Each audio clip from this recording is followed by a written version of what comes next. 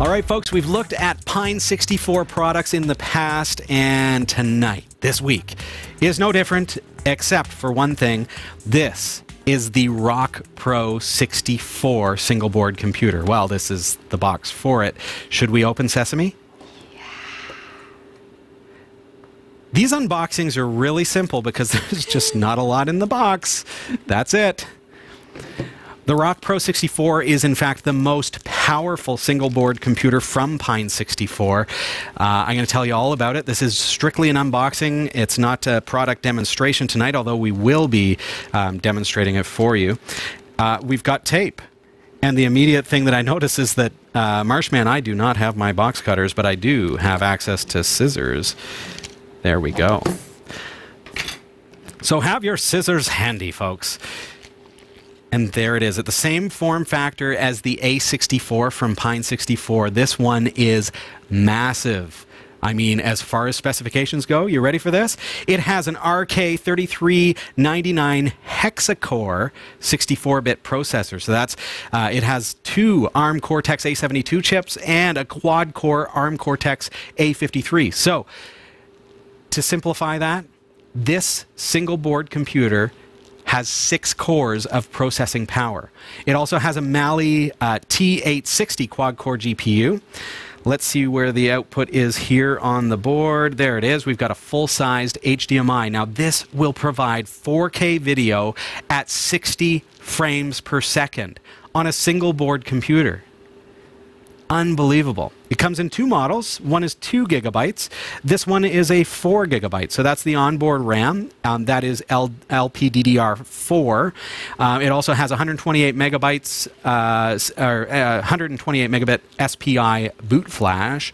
Uh, it's got a micro SD slot here on the bottom. That's for booting. And of course, what we would expect from a high end SBC like this is the uh, eMMC port. So the eMMC will take up to 128 gigabytes, and that is, uh, we've clocked these boards running about four times as fast with the eMMC. So if you use that for your hard drive instead of the uh, the micro SD, you're going to get about four times the performance out of your operating system from from my preliminary tests, anyways. We have one USB 3 port, full size. Uh, we've got a Type A USB uh, 3 as well. Um, we've got our Type C at the bottom here.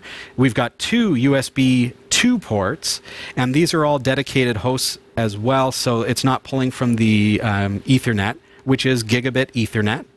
There you go. And you'll notice as well there is no Wi-Fi chip on the board. However, like um, other Pine 64 boards that we've looked at, it has um, a riser card that you uh, basically a module that will add Wi-Fi and Bluetooth, and all you have to do is simply plug that in. And we've looked at that uh, component before as well.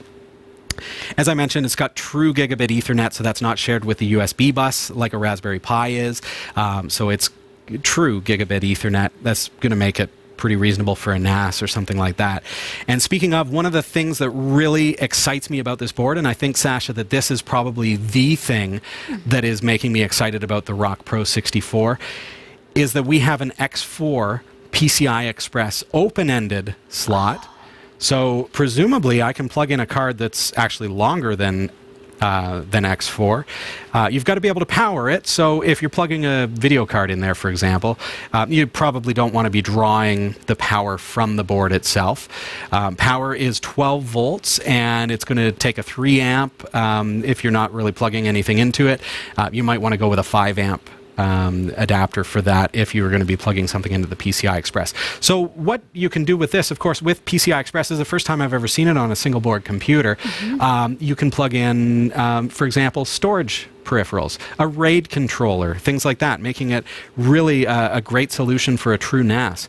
I have an NVMe card here um, that we use periodically. And, and so I'm just going to, I want to see what this is going to look like if I plug this card into right. my single board computer. And there you go. Can you imagine? It's, a, it's an SBC, folks. So think along the terms of a Raspberry Pi.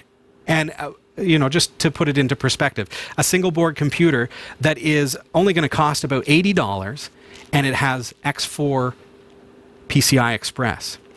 I'm eager to try all the different things that I can do with that. Yeah. I'm not sure what we can do with that, but we're going to play around with that. I've got some GPU risers. We're going to have a lot of fun um, seeing what kind of throughput we can get, seeing what kind of thing we can do with, say, um, GPU mining on this board, for example. Um, so that is pretty sleek. Um, Beyond that, of course, we've got the GPIO Pi 2 style. Uh, we've got uh, MIPI DSI interface, EDP interface, touch panel interface. We've got all. Look at all these connectors here for for different uh, peripherals. We've got uh, UART, SPI, I2C. Uh, so if you're a maker, you want to add some other per peripherals or sensors, um, it's definitely got the hookups for it. And again, the full GPIO at the top here. But that PCI Express, that is blowing my mind. One final mention here. This board is LTS, which in this particular case uh, represents long-term supply. So that means Pine 64 is committed to supplying these boards for at least five years. We're going to see them right through 2023 and possibly beyond. Uh, so that is fantastic. You're, you're investing in a board that is going to be supported and available for years to come. Really excited to plug this in. We're going to be looking at this over the uh, the next couple of weeks. That is the Rock Pro 64, available in both 2 gig and this one, the the 4 gig uh, RAM model. Check it out. It's six cores, and you can get one at cat5.tv slash pine64.